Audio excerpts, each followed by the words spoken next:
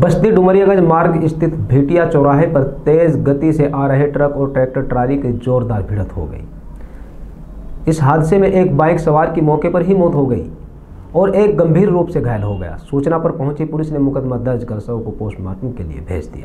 क्या नाम है? कैसे एक्सीडेंट हुआ?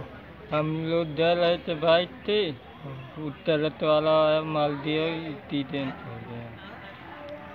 तो कौन छोटा कौन मरा है?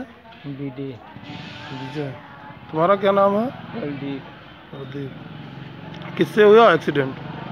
टाली है है